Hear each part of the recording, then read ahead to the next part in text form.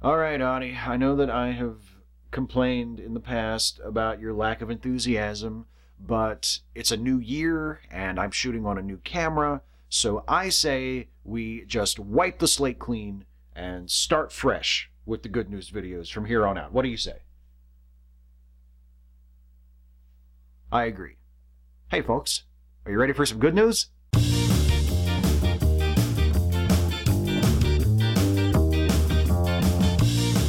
First up, researchers have created a new material that is reminiscent of everyone's favorite mutant, Wolverine. Don't get too excited, they haven't invented adamantium. Researchers at the University of California, Riverside have actually created a transparent, flexible material that heals itself when damaged, which now that I think about it, doesn't so much suggest Wolverine as the natural healing process in general, of which many living things are capable. I guess that Wolverine inspired material headline I read was just bait, huh? Well, it worked. More power to you, headline writers. Trick the kids into reading about advancement in material science. Anyway, about the material itself. It's a rubber like material that can stretch to 50 times its original length made of self healing polymers that can reattach to each other after their bonds are broken, allowing the material to heal itself after suffering damage. The material was used to build an artificial muscle. After being cut, it was able to completely heal itself with no external stimuli and resume its operations, performing at the same level as it had before being cut. The paper on this self healing material is printed in the journal Advanced Materials. Next up, scientists have used the world's smallest diamonds to make the world's thinnest wires. Scientists at the SLAC National Accelerator Laboratory and Stanford University have created electrical wires measuring a mere three atoms thick using diamondoids, the smallest possible pieces of diamond.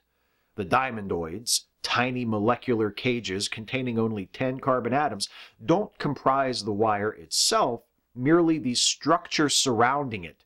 Carbon and sulfur atoms are attached to the diamondoids, which assemble into a rigid structure with the diamondoids on the outside and the carbon and sulfur forming a semiconducting core on the inside. The same method that allows the scientists to build these nanowires a few atoms at a time should also allow them to design and build new metamaterials with incredible precision, materials precisely tuned to have particular properties. The diamondoid nanowires could be adapted for use in LEDs or piezoelectric generators. The paper on these nanowires is published in the journal Nature Materials. And finally, engineers at Tufts University have created a new kind of programmable silk. Don't think silk cloth with this one, more like fibroin, the protein that gives silk fibers their durability. Silk protein can be used to build durable, solid objects. And now, thanks to the Tufts researchers, it can also be used to build objects programmed for specific mechanical functions. For example, they can make silk fibroin screws that can be heated by exposure to infrared light, or a surgical pin that changes color when it's nearing its limit and is about to fail. The potential applications for this technology once it's fully developed are staggering. Imagine tools or building materials that can respond to surrounding conditions or give a visual indication of when they're about to break down. Imagine durable but biocompatible devices for sustained drug release. All of that and more thanks to a protein produced by a spider. The paper is published in the Proceedings of the National Academy of Sciences.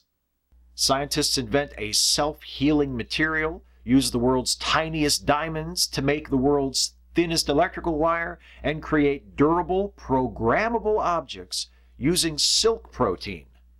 Big week for material science, huh? That's the good news. Well, folks, I think I speak for both of us when I say thank you so much for watching. I hope you enjoyed this video. If you did, please like, share, and subscribe. And also, please consider helping us to make more videos like this one by supporting this channel through Patreon. You can go to patreon.com slash Steve Shives to become a patron. Thanks again for watching, and we'll see you next time.